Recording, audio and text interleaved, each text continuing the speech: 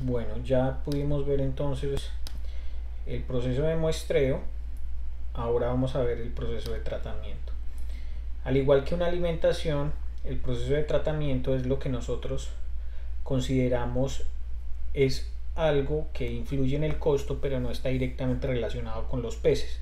Por ejemplo, un ejemplo de tratamiento es cuando en algunos eh, sistemas productivos se tiene que regular el pH o se tiene que agregar algunos insumos químicos al agua. Entonces ahí es que lo llamamos nuestro tratamiento. De igual forma que la alimentación, tenemos que empezar por crear un proveedor.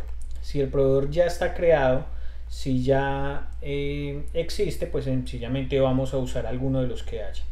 En este caso, si debemos crear un producto y voy a crear un nuevo producto que se llame vamos a decir que lo llamamos bicarbonato.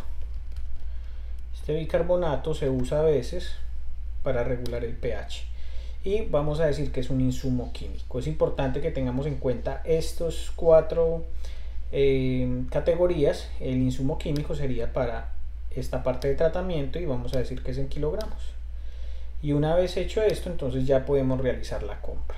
Vamos a decir que el proveedor vamos a decir que no lo vende creemos un nuevo proveedor. Creemos un nuevo proveedor que nos sirva como para diferenciarlo.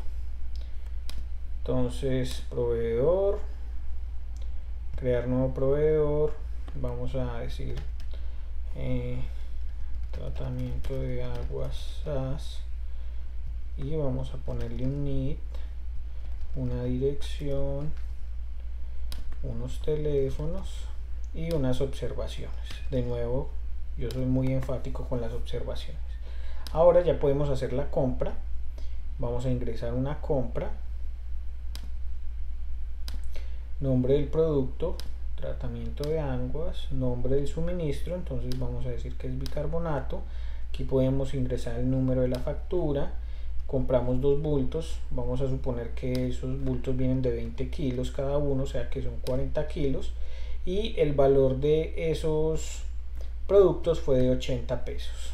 Al darle guardar ya alimentamos el inventario, entonces ya podemos ir a tanques, procesos del lote, vamos a agregar este tratamiento, crear nuevo tratamiento, producto usar bicarbonato, él nos trae automáticamente el proveedor, vamos a decir que vamos a aplicar 10 kilos, entonces dice que en este momento hay 40 kilos, eh, vamos a decir que esto aplicado ya que el pH está muy bajo. Y vamos a decirle guardar y nos acomoda el inventario y de esa manera ya creamos el tratamiento